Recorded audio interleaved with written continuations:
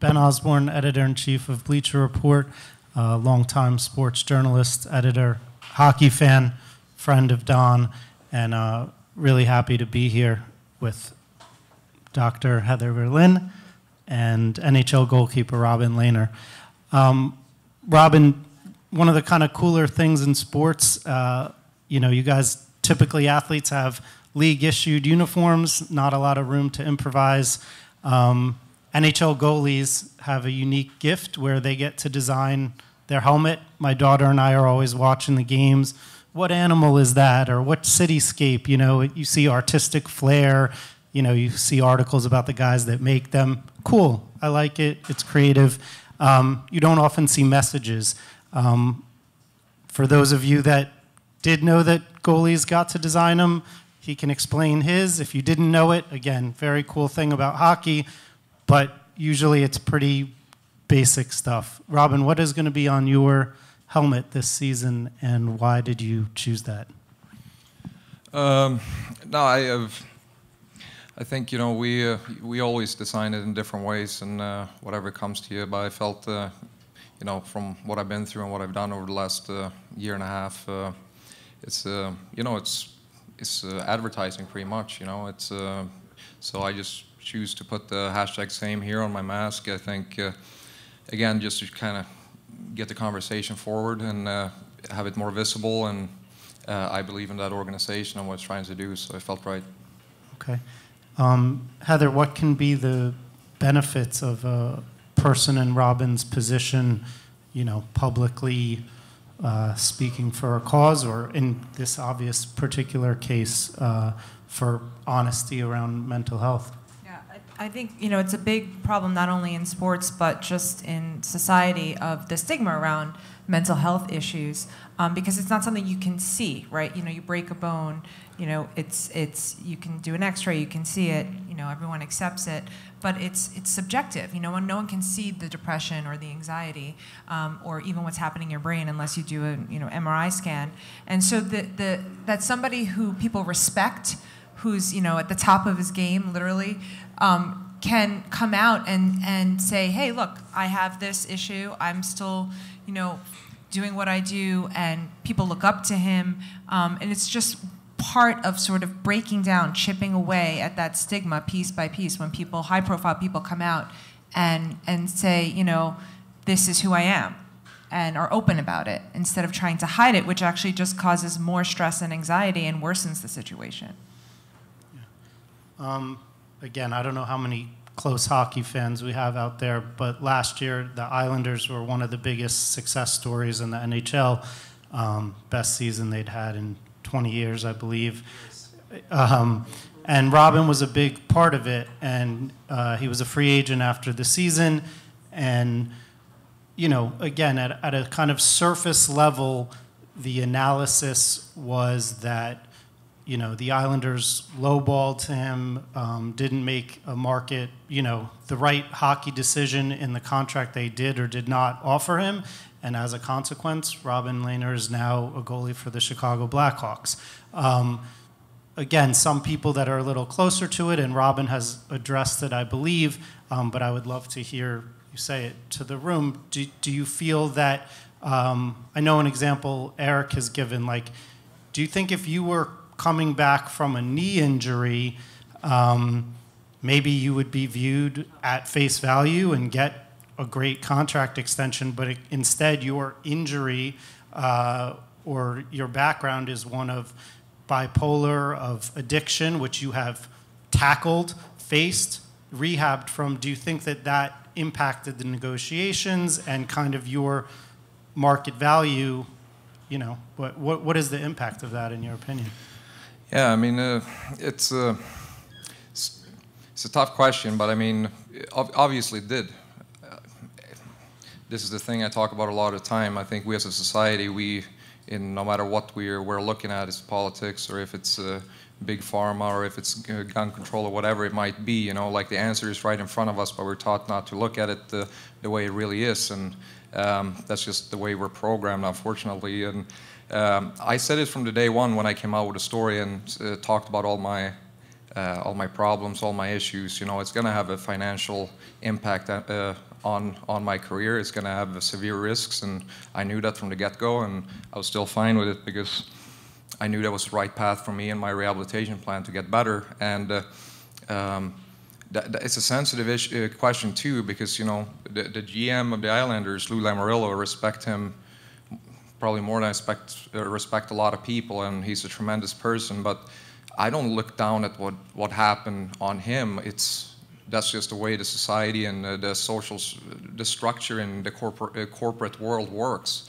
As soon as you show any type of weakness, you get punished for it. That's why we have this tremendously backward society that creates mental health on a broad spectrum, because we are forced to hide all of our things, lie on our resumes, lie about who we are, be around people every day, being a person you're not, and it it it spirals away and it, uh, it, it makes us sick over a long time. It's a little, small little poison that grows in you, and it's uh, when you get issues, it spirals you away, and you treat it with uh, alcohol, you treat it with pills, you treat it with whatever you can get a hold of, bad behaviors, or uh, and I came out with a story, and uh, you know I thought that it was going to go a little bit different, but I was I also came into the free agency looking at, you know, I've been sober for 14, 15 months, you know, like if it's long term, short term, I'm fine with both, but it was going to be a fast process, and I'm just going to be honest on exactly how it was because I have nothing to hide, and it's not to bash anyone about it. I don't feel bad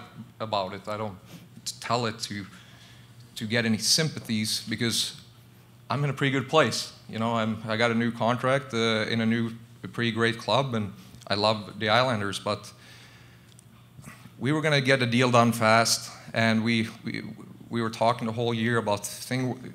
We really hope is going to work out. We really hope it's going to work out, and we're going to, you know, take care of you and all that stuff, you know.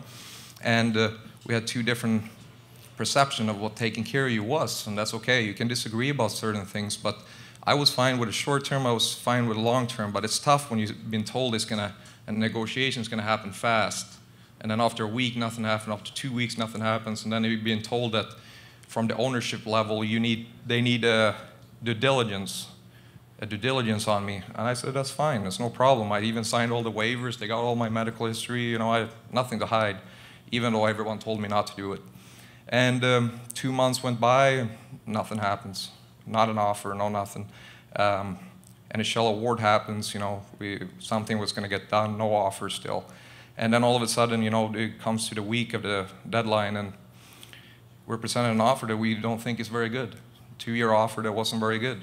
Uh, uh, not where I thought I deserved compared to what I've shown them over a year on how like strong my rehabilitation is and all the extra things that I go through to make sure that I'm uh, I'm healthy. And I even I really wish that we could have changed the CBA a little bit and put a clause in the contract that I put the risk on me. You know, if I relapse again or if something goes sideways, they can cut me, no problem. It's going to be on me, but unfortunately, CBA doesn't work like that.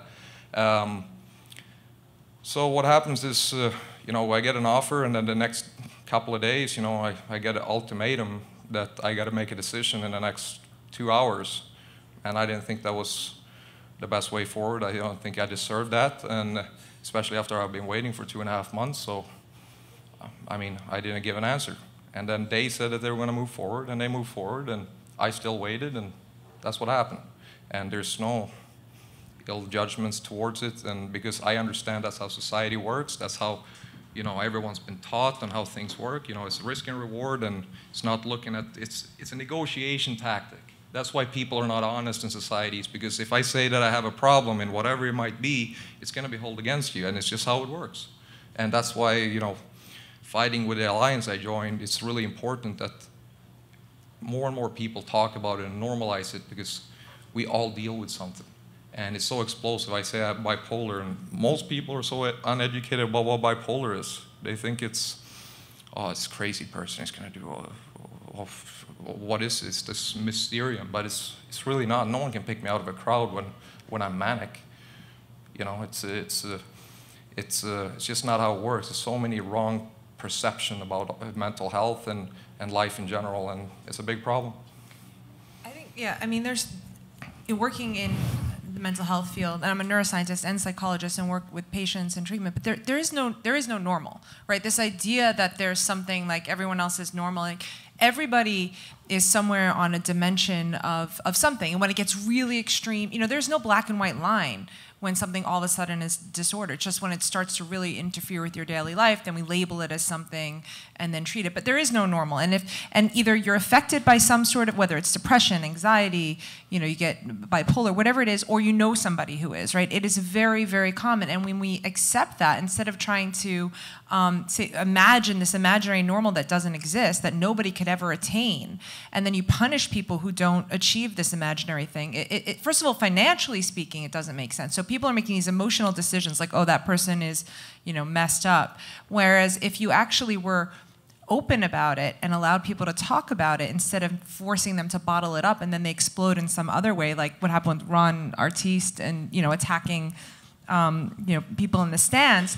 You know, in the long run, that's going to be cost more money, right? And, and be more of a detriment than actually letting people be open about it, talk about it, get treatment they need, and you'll get the most. Um, if it's an organization or corporation looking for how much value they can get or you know out of a player you're going to get the most out of them if you if you break away from the stigma so i think it's just if people can shift the perspective and how they're looking at mental illness rather than saying oh that's a bad thing we should just people should players learn to hide it you know they we give them i give players we test players with um, whether they can go back into a game after they've had a concussion. You know, we give them this this personality test, a neurocognitive test, and and they can they can fake it to go back into the game, right? They can fake good, we call it. Um, so that's that's not helping anybody, right? That's not helping the player, and it's not helping the the the league because you're sending people back in who really maybe shouldn't be sent back in, or you know need more time to recover, or need some mental health help. So if everyone could just be honest, I think it would be it would benefit everyone. It would benefit the team. It would benefit the players. Yeah, yeah I mean it's a it's a difficult subject because as we talked before too, you know, like. Uh, there's a difference between how it works and what society accepts. It's uh, it's how it is. It's uh, like if we talk about concussions, we can talk about it for a long time. I faked like I faked I was I played through concussions. You know, I uh, just uh, hit it with a lot of alcohol. You know, because I had migraines for months, and the only time I didn't have migraines was when I drank beer. Um, and you know, you get the concussion and you, you go away and you stay by yourself and you don't get that much uh, that much help. And you know when you're out of the game you're out of the game. You know when you're rehabbing you're rehabbing away from your players. You're being hidden away from the players. You know the system is the system is kind of broken that way. And um, the the the, the, the, perception there you talk about is uh, it's, it's, it's, tough to break down because uh, um, again, it's, it's all about the culture. The culture of society, it's uh, started from the corporate structure. And the corporate structure doesn't accept weakness. So that you, we create uh, all these young people going through school, you know, you got to show perfection. You can't say who you are, you can't say what you go through, but we're all going through it. Logically, we all know that we're going through a bunch of shit. You know, we, we all know that uh, life is not perfect. And, you know, as we talked uh, before, you know, like I love this country. I love to spend the rest of my life in this country, but it has some deep flaws. You know, it's you guys talk about the college uh, debts and stuff, and I think it's hilarious because I, I look I look at a country that sends sends its whole youth into guaranteed mental health issues that leads to addiction, alcohol abuse, drug abuse, and suicide. End of story. It's just the truth because long periods of time under financial stress it's one of the leading causes to anxiety, depression, bipolar, and all of these things. And we know it, but we don't talk about it. How insane is it? How insane is it? I mean, people going through relationship issues or divorce or a traumatic thing in their life, you know, see someone die or, you know, close one dies or anything, you know, it's obviously it affects your mental health. And, you know, you have all these mental health uh, movements that's or they say they have statistics. What statistics? What statistics are they talking about? Because, you know, from what I know, there's not a, you know, you, you people talk about there's uh, polls and there's this and there's that. You know, how, how do you know what statistics of, of a country is mentally ill when most of the people are undiagnosed and are taught not to say what they are? How are you going to know how many people are bipolar when most people don't say that there's anything wrong with them and they're hiding all their, all their stuff? It's a bigger percentage of the population that have different issues than what people are talking about, and then we have a society that's created a structure around it to punish the people that actually are talking about it, and that's where it comes into my story. I knew that the only way forward, because when I was at rehab, in rehab, they say you got to bring the people around you. You know, you got to be open and honest with them, and they're going to be a part of your journey, right? But in the NHL or in any any type of sports organization, it's all about you got to be quiet. You can't you can't tell anyone what you're going through. You can't you, you can't tell any of your teammates. You got to keep this a secret. So I'm thinking to myself, like, this, how's this going to work? It's not going to work for me. I'm not going to, I'm going to relapse 100%. I'm not going to be able to get better if I do this. Transparency is the only way forward, and it was the only way forward. And the prog- NHL program, the, my lawyer, my agents, everyone told me, you got to be quiet. Don't say anything. I told them all to shut up, you know, because you're pretty much telling me not to go and get better, you know, because I told my GM straight up, I'm, you know, like I have all these issues. I've been drinking in the past. I've been take, uh, taking drugs. You know, I have all these problems in my past, my youth, my my early teen uh, or my early 20s, all these things. You know, obviously not everything, but uh, quite a bit. But I created a trust with him. I created a a trust where when I said what I've done from that point going forward, and all the walls and all the barriers that I, and boundaries that I've set, and all in my rehab plan, he also trusts me that I was telling the truth. And that's all of a sudden, if no one in my team know that I'm an alcoholic and have problems drinking, I could have picked up the beer whenever I wanted if they didn't know about it. But when I'm with them and I would have picked up a beer, I would have had a person there say, What, what are you doing? You know, I'm, we're taught to have the family and people around us be a part of the process, but the, the reality of life is your family is with you for a majority of the time, but if you're in a working place, the majority of the time I spend is with my teammates. It's with my teammates, it's with my co coaches, it's with my organization, and you're asking me not to, uh, to have them around, uh, around me as, a, as the protection. I'm not asking them to hold my hand or do anything for me or do any extra work or hire extra people or anything. I'm asking them around me to be open and honest with themselves because, you know, when I was honest with all my teammates uh, this year, I have a tr tremendous amount of teammates that could talk to me about it and came and asked, uh, asked me for, for different help. I had people around the league ask me for help because you normalize it because that's how things works. If you normalize it, people are going to open up. But if I go and project on you, you're going to be quiet. Can you speak to the impact that you, you either know or can imagine it has on a fan or a teammate that you are an active athlete? You're doing it. You're performing at the highest level. You were one of the you know, let's say 10 best goalies on the entire planet last year while also being honest and open and transparent as opposed to again not the understood why a player would wait till after to discuss anything controversial or that might hurt their earnings but you're doing it live do you have any anecdotes about things people have said to you or thanked you or just you know the the the power that comes from, from you doing that for, for fans and teammates? Um, I mean, I think, uh, I think, uh, as I said, I think is a big part of my journey and my, my re rehabilitation plan to be the, with the open openness and honesty because it really helps me. And I think uh, service is a big part of my rehabilitation too. Helping other people helps myself. And but I have seen tremendous amount of out uh, uh, outpour, yeah, from from people and. I've gotten a lot of messages. I've, I've, seen huge interaction with a lot of people, not just fans, but also people around the league. And that's the funny part, you know. I get executives from other teams come down and grab me. It's like, yeah, you know, I'm bipolar too, you know, but yeah, I take all these things, you know. I'm like, good for you. Why? What's what? You know, he can't be open about it. I've met so many people that come to me and it's open. Yeah, I take the same medications as you. I'm like, yeah, I, you know, I came out of rehab. I was on 10 medications. I was like a ghost. I'm like, what's going on here?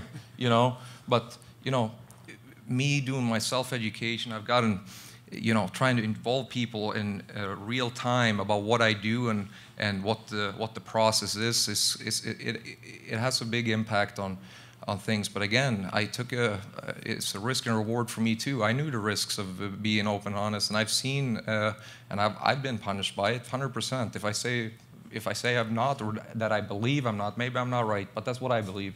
Um, and uh, but it's worth it to me because we, we talk about it. You know, the first one through the wall gets bloody. That's what uh, we we we've talked about in our, uh, our alliance. And if I get bloody being one of the first one through the wall, that's fine with me because eventually maybe the next one and the third one and the tenth one is bloody too. But maybe eventually it's not a problem anymore. Maybe people can change this culture of how things work and people realize that a lot of the things in society, in the corporate world and corporate structure, if we can change that and we can put mental health education into schools, we're going to change violence in the country, in, in the world. We're going to change a lot of the issues. We're going to change the opioid crisis, change the addiction that, that, that we have. We're going to change the depression amongst the youth that's skyrocketing right now, and anxiety problems, and all of these things.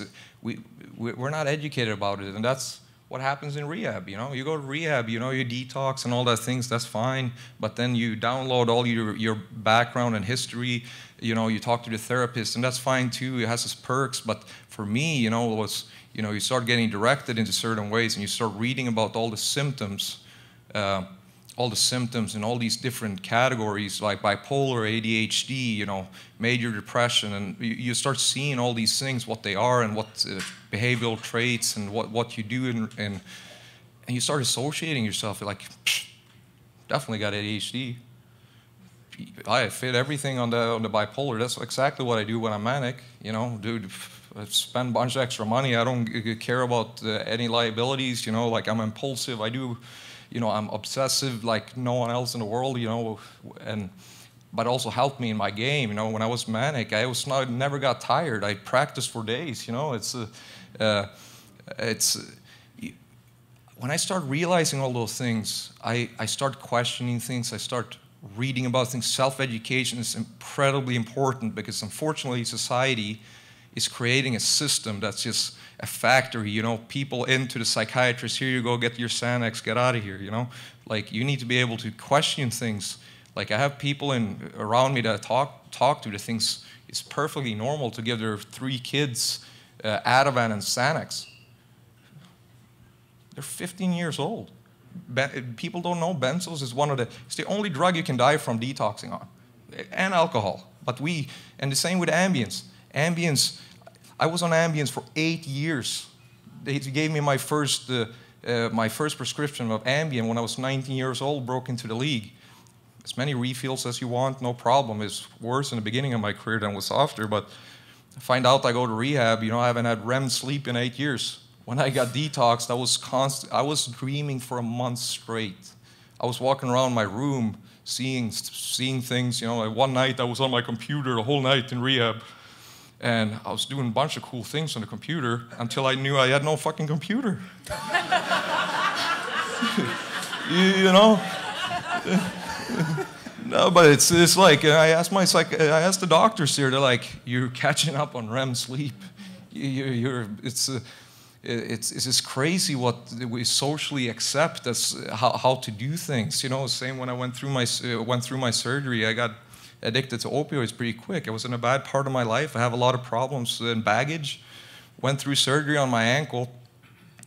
Got morphine in my uh, hospital bed and I felt pretty good. Mm-hmm. Felt pretty good. I had no issues at that time, I tell you that.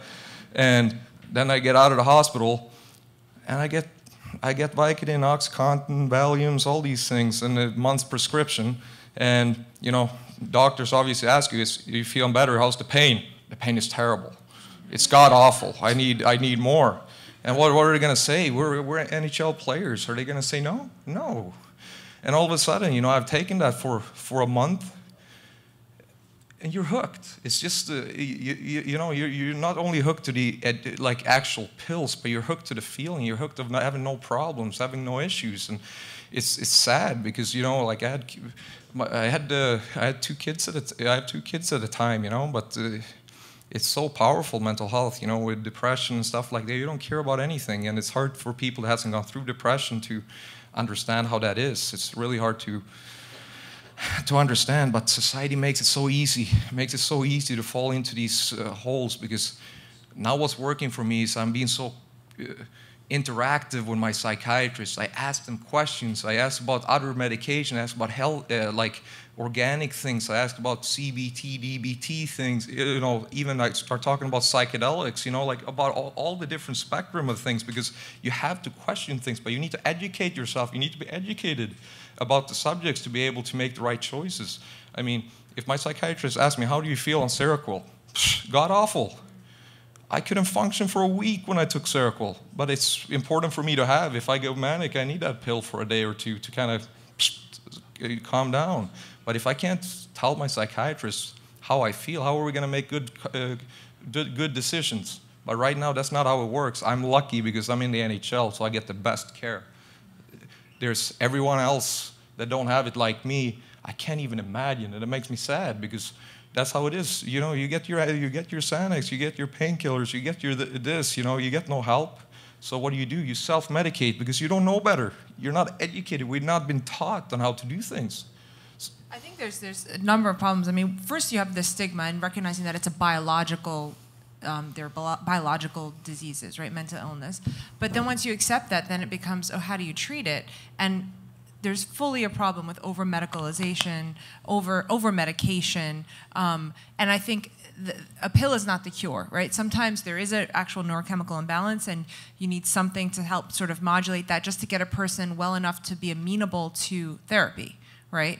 And it's a pill alone doesn't do anything, and then and also they can be misused, like in the case of opioids in many cases. But usually it's just um, the using some medication plus some therapy has a synergistic effect. They work together to help. No, I mean yeah. that, that's what I preach. I'm not against the pharmaceuticals in in a whole. I'm against how it's been how it's being done, how it's being commercialized, and how one pill cures all. It's just not true, and they know it's not true, but they still do it. And we, as a population, we let them. Unfortunately, we it's our fault because we are the many and they are the few. But we we don't rise up. We don't care enough and that's just uh, how it is. But I see the medications. I need the medications uh, to get to neutral, so I can work on myself and actually function. Because I cannot work when I'm depressed. I can tell you that much. You know, uh, people say, you know, you got to fight through it. You got to be disciplined, all that stuff. Try telling a depressed person to be disciplined. It doesn't work. You know, it's you need that help to get to neutral. And when you're at neutral, you can start making progress. But you have to make progress. You have to do all the research. You have to work on yourself. And when you're at neutral, that's when you set up your walls, your emergency brakes, and start uh, uh, start doing things. And that brings brings me into what we talked about earlier too. Is when you are in some type of mental health state, anxiety, depression, uh, you know, whatever it might be because of how the culture is that you have to hide everything, that is what spirals things out of control. And I always bring this up, what I had with my wife, because it's the best example I have, is before I went to rehab and I went into depression and, uh, and all that stuff, you know, I always, you know, I start feeling tired, you know, I, I, I felt useless, I had no purpose, uh, whatever it might be, but you know, I try to hide from my wife, my kids, you know, like I try to, you know, make excuses, you know, like I try to not spend time with them because, you know, I couldn't. But what happens is because that's how I went about it back then, a very powerful thing happens, and that's called guilt. When guilt hits you, you're done. You spiral all the way to the bottom. Guilt and sadness and all these things that happens uh, because you don't know how to go about it, and then you go down to deeper and deeper and deeper depression what, what happens now is if I go into depression now and I start feeling, feeling the same thing, I go to my wife, I'm like, I don't feel good right now. I don't feel good today. I think you're starting a bad week or something, you know, and she's like, fine, you know, take your time, do whatever you want. So, okay, I stay at that level. I don't go down. So next day, I'm actually up again, neutral, because I have honestly and uh, uh, I'm honest with, with, my, with my partner now. And again, go back to transparency and honesty. It helps you. But if you bring that into society, is say we have a person that's anxious, you know, if he has to go into a room and pretend he's something he's not and uh, uh, constantly tell himself something wrong with you, something wrong with you, you can't show who you really are. What happens? It gets worse and worse and worse. So again, this cultural cultural uh, uh, and this, how society works, it makes people worse automatically. If you open up uh, in a, in a team or in a room or in a corporation that it's okay to have these things because we all have it. different degrees, different things, or you might hit it, you know, and you can be open and honest about it without being punished that you can't take the next step as a lawyer, you can't be partner as a lawyer, you can't go and be a CEO. But the funny thing is, now when I'm open and honest, I actually talk to a lot of CEOs and all these high ups, and they all have the issues. They all have a lot of these issues because when you got to be a really successful person, you usually are really weak in one place that makes you really strong in another area. So a lot of these really successful people actually have some really big weaknesses, but they hide them. They hide them. And that's why I like the Same Here movement because we're trying to get a bunch of successful people in all the different uh, spaces tell their stories, be active about it, and all of a sudden you can show everyone that it's possible to be at a higher level, a high level of performance and still have these issues like we all know we have. I think it's important to break the dichotomy because right now there's this dichotomy between what's healthy for you as a human, as an individual, is to be open and to let people know and to have social support and accountability and all of that. Um, but that that's butting up against success in your career, right? So it's like you have to make this choice between like I'm going to do what's best for me and my mental health versus what's best for my career because if I show all these weaknesses there's going to be punishment. So if we can somehow break down that stigma, then people can do what's best for their mental health and be open and honest, not get worse. Yeah, you no, that, but that's what I'm saying with, Yeah. with me, Fast. Just like I am naturally a lot healthier, just not hiding anything, guaranteed. You know, coming in here and being totally honest, you guys, I, I can tell you guys whatever about my dark past. There's a few things that I won't say, but the majority of it, I feel pretty free. It helps my anxiety. It- you know, like we talk about it all the time. You know, it's when you when you have to hide things, it's uh, and you can't be yourself. We I sit and listen to the the talks before here today. You know, as a, you know, talking about gay people, for ex- for example, because society hasn't let them be who they are. How tough is it for for a gay person? to hide who they really are. It creates it's the same exact concept as the mental health uh, problem. If you can't be who you are around the people you're around all the time, it's going to create issues. And that's the problem with the with society that we, we we're not allowed to tell who we are, and it it it, it explodes eventually. There was a, you know, really high profile situation just last week that you, you brought up in the in the green room of a NFL quarterback, Andrew Luck, um, you know, retiring mostly for physical ailments, but I'm sure there was an element of protecting his mental health. And, you know, there was some, I guess, some warm reaction from a few corners, but there was some very critical media. There were fans booing.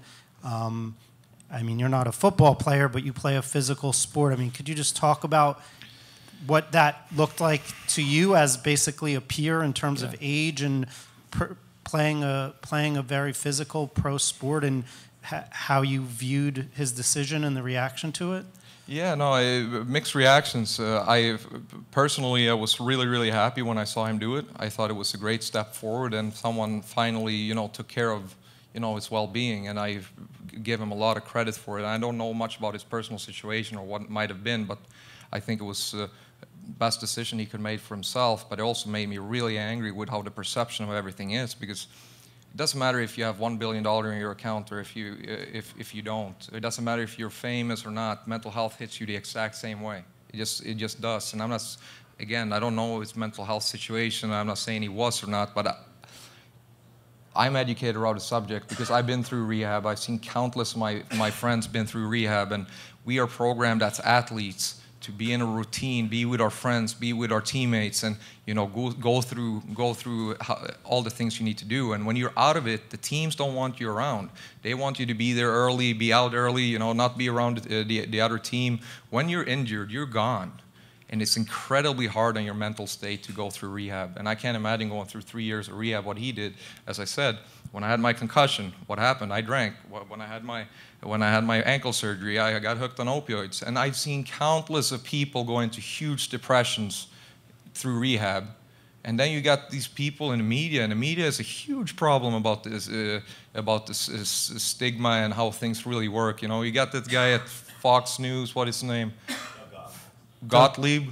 Gottlieb, he comes out with one tweet and he thinks it's a very innocent tweet, right? It says, it's the most millennial it's the most millennial thing to you know retire over rehabbing for three years and then he comes out with a five minute segment about like kind of explaining it and saying that the, uh, you know i just that's how i am I, I talk like that and trying to make it okay what he doesn't understand is let's let's be honest he called him a he, he called him a pussy you know he just said he, you know he's he, he's a weak person you know like oh rehab boo hoo you know you make a lot of money and now you're quitting like that's basically what he's saying and again and then he uh, goes in and say, well, back in the day, that would never happen. You know, they, they were tougher back in the day. Yeah, sure. All those guys back in the day, they're committing suicide right now.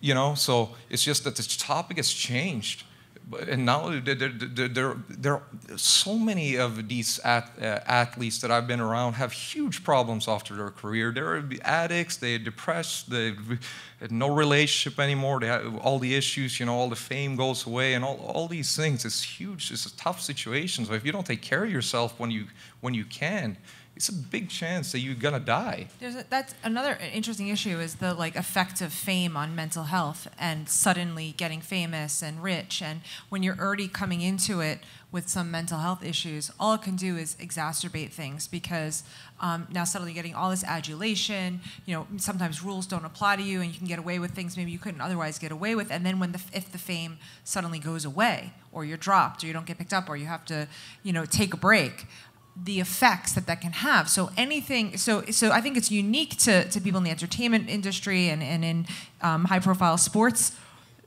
It's it's it can be significantly um, enhance or, or, or, worsen the the mental health um, symptoms. Um, just by being thrust into the limelight like that, and then taken suddenly out of it as well. And I think that that's not taken into an account at all. Um, and, and then the effect of media and you know being high profile and people tweeting about you and negative tweets and all of that. Yeah, but why, you know why should we care? You know why, why why should we cry? We made so much money. Well, uh, uh, no, no, I mean, no, but it is that's the perception. We made so much money. You know, so we have no issues. You know, like we, we always compare each other to things, and you know, again, you know, athletes and uh, politicians, CEOs, everyone. You know, you put people in pockets and you think you know about them, but we're all the same we're all the same. I, I, know a lot of athletes are a lot more cocky, you know, and uh, have another persona and uh, whatever. But that's their defense mechanism. That's how they've been taught uh, through their whole life. You know, that's how we, we made the team. You know, we convinced ourselves we were the best in the world. We we we we really. Uh, we, we became narcissists, you know, over a long period of time, and um, but it's a big it's a big issue uh, because we get uh, used to that fame and all that help, and uh, we get also a lot more freedom, you know. It's not hard for me to get drugs in a club, I tell you that, you know. It's uh, uh, I've I've honestly been a part, you know, doing seeing guys getting busted by the same guards that was do, doing drugs, but taking their drugs and giving them to me. How crazy is that? It's it's we, we get a lot of easy access to do a bunch of, a bunch of stuff. And unfortunately, you know, we think uh, as certain people don't do certain things because we're athletes or whatnot. We're the same as everyone else. And everyone else deals with issues and we deal with the same issues, but we do it in different levels and in different, in different things. And that's just the reality of it. And sometimes it can be even harder because, you know, you go up and have all that fame and all of a sudden it's gone. All of a sudden it's gone. And you know, when you've actually tasted something and it's taken away from you, it's, it can be pretty tough. Um, you, you guys, you guys, NHL players, mo- most professional athletes do have unions that have some level of power. Um, do, do you see any chance where, um, you know, as a bargaining chip, perhaps you know, where, where mental health or, or treatment of this, these issues becomes raised because as you've said, it, the teams probably aren't going to put the players first. The teams are a business, um, and players are probably more focused on salary cap or mid-level salary. But do you think there could be a time in the maybe near future um, where that where enough players at least anonymously said to the leadership, you know, we would like um, mental health care or the way that rehab players are treated. Like, you know, could, could you see that becoming part of a negotiation so that the the conditions around that did did improve? Yeah, no, I, I- I can see small things uh, changing here and there. I, I mean, I, I went to Chicago, and Chicago has two mental health specialists in the team, and it was uh, in- incredibly nice to see that, you know, and uh, non-linked to management, stuff like that. But I mean, that's the first step. As I said, again, I believe there's a few key components uh, to, to change the whole, the, the, the, the whole conception of everything. It's, it's uh, the culture uh, of the corporate structure and not, not being punished, and everyone realizes we're all actually dealing with a bunch of stuff, and we're, we're all actually pretty pretty equal. If you look at society, uh, as I said about the college debt and you know opioid crisis and all this stuff, it's so many people that do it. So if we can just be honest and s- stop with the bullshit and be, punish each other for, we have CEOs punishing other ones for having the same issues that the active CEO has because that's a structure that's in place. If we change those things, things will go move forward. As I said, me in Long Island last year, when when I opened up, you know, being open and honest, it changes things. So if more and more people can do it without being punished, eventually, if maybe it happens next year or hundred years, I don't know. But if if, if it can get there eventually, we're going to be a lot more healthy. All of us is going to be a lot more healthy. But there are small things, as you know, putting mental health speci- specialists within the team because that's the most uh, funny thing I've said to. I said it to the GMs, said it to the GM in, in Chicago. I'm like, the sports teams put their own words on mental mental illness. So you get new young guys into a team and they're great, skilled, they're great in practice, they impress everyone, but then they go into a game and they can't perform. And the team's like, ah, he's not clutch, you know, he's not the, he can't handle the pressure, you know, and then he gets flipped out. And I'm saying, okay, so you're saying he's nervous. I say he has performance anxiety. It's anxiety. But we don't use those terms. We don't look at it that way. We just go, go, go. Uh, you're, you're done. Instead of, as I said, a lot of public speakers, a lot of the most successful public speakers, what do they do? They take Inderal.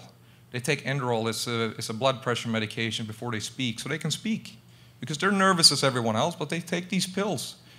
I mean, I'm not saying that the hockey players should start taking these pills because of the performance anxiety. What I'm saying is there's a performance anxiety thing. It's not about a nervous or a clutch thing. It's about, you know, at the limelight, they might need help, certain, certain help to kind of get to where they need to be. But right now, it's like either you can do it or you cannot. So you flush out a lot of talent in, in, in those aspects. And I go into a hockey team or I go into being around a bunch of people, but I can talk about hockey because that's what I'm in.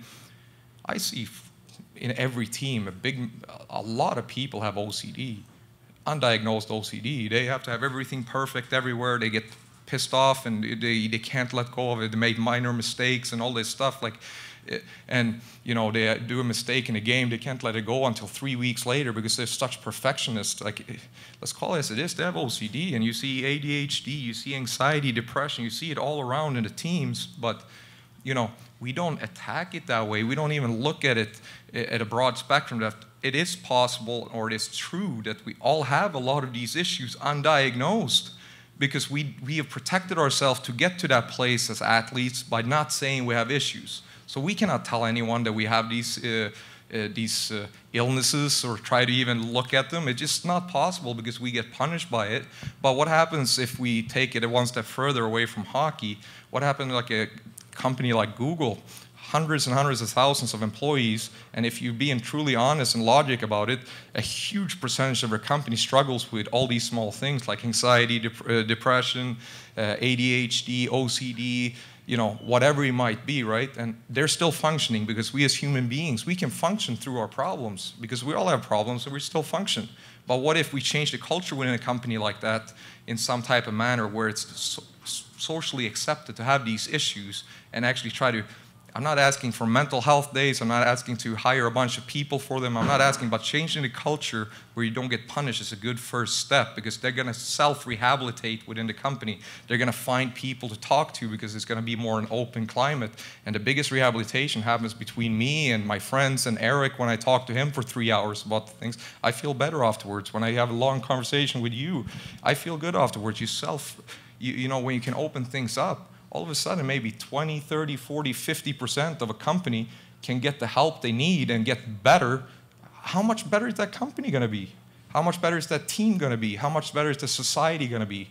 And that goes back to the, uh, the uh, with the students and with education, education about uh, mental health and all that stuff. All of a sudden, you know, people go through between 15 and 24.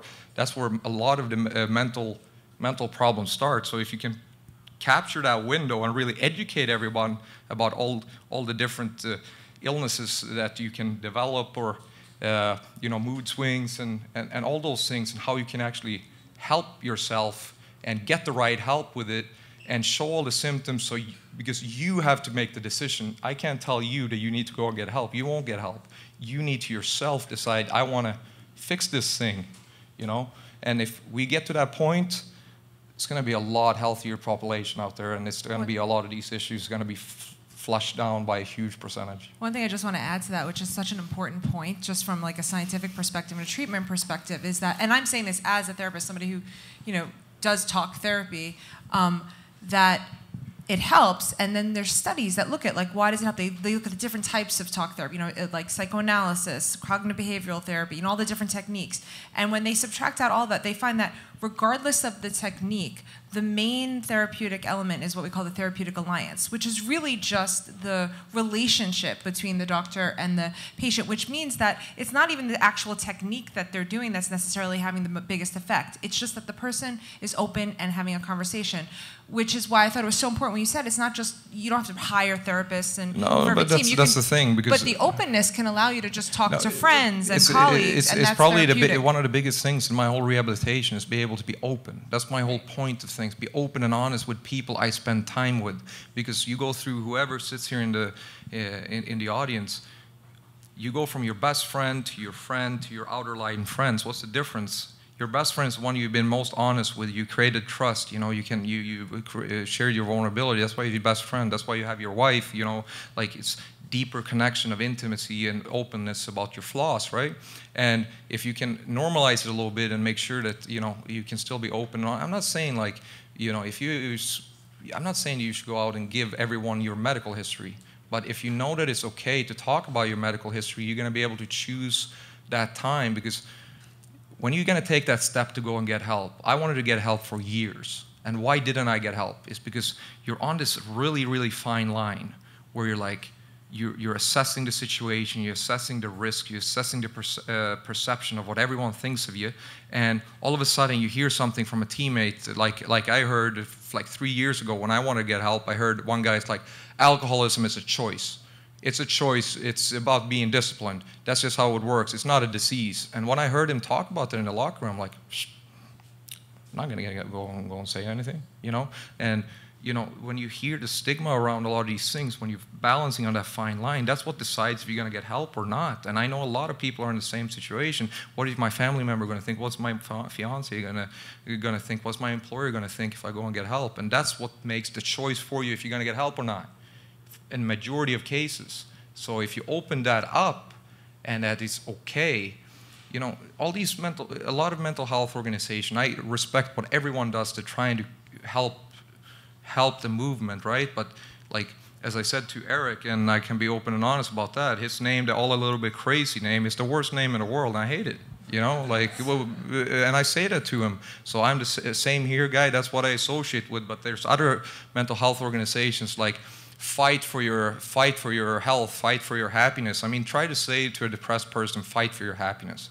You're pretty much saying you're not fighting if you're sick you can't fight. You got to outsmart it. You got to get to the medicine and get to the neutral and, and put in the brakes and all that stuff. You can't say fight for your happiness, you know. It doesn't work in mental health that way. And then you have the bell let's talk, you know. You're pretty much saying the healthy people go and talk to the sick people. And how does that work in reality? I'm going to come if you're if I think that you're sick, I'm going to come and project myself as I am the healthy one. Please tell me about your stuff it's never going to work. How it worked in reality is I'm dealing with this stuff. I've been a drug abuser. I've drank for I've drank and taken sleeping pills for 8 years. I've done a tremendous amount of bad in my life. And you know, I've struggled economically. I've struggled with all of these different different things, you know. And when I can be open and honest about that, all of a sudden a trust opens up and she all of a sudden might not have any of those things, but then she says, "Well, I have an eating disorder." You know, Okay, well, and then you start talking about it because right now in society, it's like two walls talking together. That's what the conversation is. Hey, how are you? I'm good. How are you? I'm good. Well, good talk. you know, that's that's what we're taught to say because we're taught not to say anything bad. Yeah. It's uh, it's how it works. Um, really great stuff. I know people in the audience will have some questions. Yeah, so- we're, we're getting up. Uh, yeah. we're gonna hands try are to get going up as fast. many as we can. Yeah. Um, but yeah, we're running out of time, so let's. Keep it brief. Robin, I'm just going to make this short and sweet. First off, I'm a season ticket holder with the Islanders that sits with Section 329 Blue and Orange Army. I just wanted to say thank you for last year. That was really, really awesome what you did. Thank you. Thank you. And secondly, secondly, you living in the New York, Long Island area, how tough was it for you to basically just basically stay like inside? Because New York, you have all these trap balls and everything like that between clubs, bars, everything. Even out in Long Island, you have wine country out there as well. Uh, how, how did you manage to stay away from all that? By, uh, by doing what I did. I was open and honest and created my protection network. People have a perception that the team didn't drink around me. Sure, they did. They don't think I went to the clubs with them. I went a couple of times. I still have gone to the clubs in Chicago too. You know, it's uh, it's uh, only when you're comfortable enough to know your strengths and weaknesses you can do things. Long Island was a great place for me and my family. We loved it. Uh, uh, the only thing that sucked there was the traffic. Really rude drivers. Hey, I live on Long Island. really, really, really rude drivers, but the rest was perfect. Robin, we're gonna miss you out on that, I'm gonna miss you too. Thank you. Thank you so much, Robin, for speaking so openly and serving as an inspiration. You talked about since you are in the NHL, you do have access to the best care, um, and you are putting yourself out there, and hopefully more people will speak up, um, and you'll inspire others to get help. But then we have the challenge of people who don't have the means to get the care. So now you're making them aware of a problem that they have. How can we encourage fans and people to get the help that they need if they don't necessarily have the resources to do so? That's a, that's a good question. I, I struggle with that question every day of, of my life. That's one of the things right now, sitting down, really trying to focus, see what I'm going to choose for a foundation and stuff like that. But what I'm trying to see here is how can we change again? How can we change the culture to open up the open up the culture for it to be okay? Because I think it's the one of the biggest uh, helps for people like us, uh, and it's free you, you know, it doesn't cost anything to, to have an open society around you. So I'm trying to see uh, how can I tackle that, but also on top of it, I said uh, I tweeted out a couple of like last month or something about the medicine prices here in the U.S. is insane. Uh, again, talking about the education, it's not. I love this country, and I'm not bashing on the country, but you know when you you know when you have a politician uh, like Bernie Sanders saying you know attacking the education and uh, the education debt, that's great, but you know the way you put it out there, if you really put it out there on how bad what you're actually doing to your youth, you're killing your youth. By capitalizing uh, financially, you're killing your youth and you're actually rot- rottening your country from within. You know, when you start putting it in different ways, when people can actually start finding out what they're actually doing and make these changes uh, in big parts of society eventually, that's that's how you're going to get there you know? And i'm not trying to be uh, political or anything like that but i mean the more people that speaks up the more people that uh, uh, that joins different movements and actually speak speak up for themselves. I mean there's what is it 330 million people in this country. I mean there's needs to get to a number where it's where things can change. And uh, that's how we got to do it. You got to talk about it and and and uh, you got to you got to do something together enough people to make change I think also it's a larger political issue of like mental health care coverage by insurance companies and things like that. So like, you know, if I do, I mostly take out of pocket because reinsure, you know, reimbursement for insurance is, is little to none. Um, and then, you know, you have people who are on, on Medicaid and they only cover so much. So I think it's a larger political issue to how to get more people covered for mental health issues. 100% and just last thing i think the self-education research i think that actually the millennials are really good at that I think that they actually are looking, don't trust the, the politics that much anymore, you know, and starting to look at alternate medication, start looking at, you know, yoga, meditation, breathing exercises, and all that stuff. But that's one part of it, you know, like we need to start teaching everyone about the whole spectrums of help out there. And but it always starts with you. You got to take that step and, and get the help, uh, try to get some, some type of help and try to help yourself in a lot of different ways. But unfortunately, a lot of people are not as fortunate as I am, and that's a big problem and a big moral problem for myself. And I'm struggling in finding where can I put the uh, most of my time to make the biggest change where I have a lot of people on Twitter or Facebook and stuff that reach out to me, and I would love to help all of them, but it will take a long, long time for me to help individual cases like that. And it breaks my heart. I've helped a few of them, but I want to help all of them. I can't because I'm trying to see how can I help as many people as I can in my lifetime. That's my goal. And then unfortunately, I got to pick and choose, and it's a it's a tough moral balance that I struggle with. Robin, you mentioned um, obviously just speaking out helps you with social change and helps you inspire other people, but does publicly sharing your story also help with your sobriety? 100%. That's uh, what I said earlier. I, I think uh, uh, it's a part of a service thing, uh, but that it helps other people. It helps me again build those walls because you know what? I don't like. I don't want to be a hypocrite. I really don't want to be. And it's hard to balance that line. But if I sit here and talk to you guys and let, out a story about how I'm trying to rehabilitate myself and talk to my psychiatrist, do self-research, do uh, try to stay sober and stuff. If you guys see me on Twitter or Instagram next month, Robin relapsed at a club, you know, it's, it, it, would be a pretty big hypocrisy hurdle for me to ever come back from, and that would probably spiral me down pretty. So again, I created my own huge, huge wall. Again, and it's on purpose.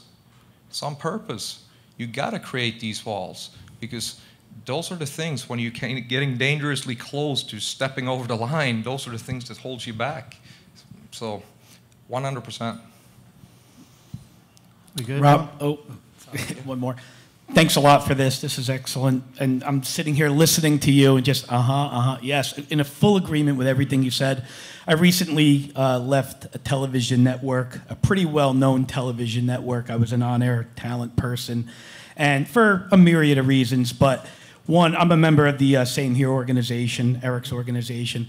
And one of the um, last things I did before I left, about a month or so prior, was pen a letter to the president of the company and the uh, HR leader uh, about incorporating mental health wellness programs, strategies, different things, incorporating them. I mean, we could fucking put in $2,000 for a catering for croissants and scones and all this shit three times a month. I mean, these bonuses that are handed out, these salaries. I mean, can we slice a sliver off to maybe incorporate something? into you know handling some programs once every couple of months. I mean, and not necessarily for me. I'm not going to sit here and say I'm alone. You know, I've had my problems: depression, anxiety, yeah. drinking, the whole thing. Yeah. But we're all dependent on one another. If you got guys that aren't on top of their game in front of you, mm. you can't play to your best. If I got a director that isn't on top of his game, I can't go on camera and be my best. So it's a domino effect. Yeah, no, I mean, I see exactly where you're going, and unfortunately, like a lot of us, and I thought the same way as, as, as you're, you're, you're, you're saying here, but I've also realized reality. Reality is that you cannot expect others to change. You, you, like I had a long uh, talk with a lot of different people about this, like how you attack certain issues in the NFL. Are you going to slap the NFL in the face before you want change? Nothing happens, right? What what happens uh, with the TBI issues in a lot of the leagues? I know a few few people in the NHL, right? What what are they doing? They're accusing the NHL for knowing all these things, and of course they probably have. You know, I don't have the evidence, but of course they probably have. Uh, and you, you slap them in the face with lawsuits and all that stuff. What happens is that nothing happens. It's the same with the political climate in this country today, right? You just, it's about slapping each other in the face as hard as possible and not talk about it. But the only thing I see is that we change that we change. If you want change in the leagues, it's got to come from the players first. If you want to uh, fix the TBI problem, how about all the thousands of players comes together and put one, two, three percent of their salaries in a pot and take care of them? You know, it's going to be a lot easier when you ask the, the owners to come and join. when you do it first. If you want change in, in society, what I tried to do this year was show everyone I have all these issues. I don't need special care, special help. I did majority of the rehabilitation with my self-education with people I have around me, and I went into the to the league and showed you can do it by fitting in. We need to fit into society as a movement. If we don't fit in society as a movement, look at the snowflake movement do everything around me. You know, you have to do, uh, you have to change around me. They're, they're going to go nowhere. Nowhere. There's no change around them. If you demand, if I demand money from you, you're going to say no. If I create a relationship with you, and you know, we, you, you can see a purpose for that money, you might give me the money. You know, you got to think like lawyers. Lawyers, I say this, I'm surrounded by incredibly smart lawyers. One of my best friends is one, one very uh, successful lawyer. We always say, a good lawyer tries to make the other side think that it was always their, their plan all along. It's about putting in small seeds to the other side to make, make, to make them think that this was our plan, but it was actually just, a, you know, like you got to attack uh, issues that way. You can't come in swinging. I didn't come in swinging for the NHL because you know what? There's a lot of issues with the NHL, but you know, I did it. I faked the concussions. I took the drugs. Yes, I, I, had easy access to a lot of things with a lot of different things, but I did it. Started with me. And now I'm trying to change, and now I'm trying to be open, honest, and show another way because the program, how it's, I love the NHL program. They've become some of my best friends, but I totally disagree how they do things with taking players out, hide them in a box, and put them back in. It doesn't work. It needs to be so, such big change but it always got to start from us because unfortunately, the big corporation structure is really, really hard to change. So.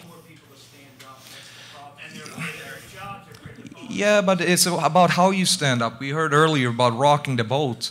Yeah, it's not good to rock the boat, but you can poke small holes in the boat. You can poke small holes in the boat, and eventually you, you can get to where you want to do. But if you're going to put a big bomb in the boat, it's going to sink it's you, you, you get a, this different way of attacking things, but we're programmed that it works one way, it's fight or flight.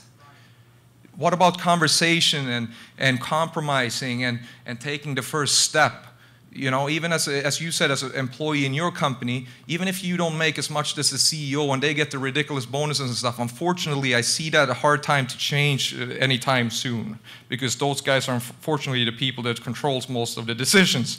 But if no, but it is. It is. Well, I'm saying there's different ways to survive. I'm saying there's different ways to survive. I think we, it's unexplored possibilities that's happened. And I think if we, even if we don't make as much of a salary in a normal corporation, even if as the union comes together and put, put on different initiative from the start, it's easier to get help from the actual corporation later. It's always going to start somewhere. And if you ask them to start and change and change to nice catering, you know what? Those CEOs likes that nice catering. They don't want to be without that.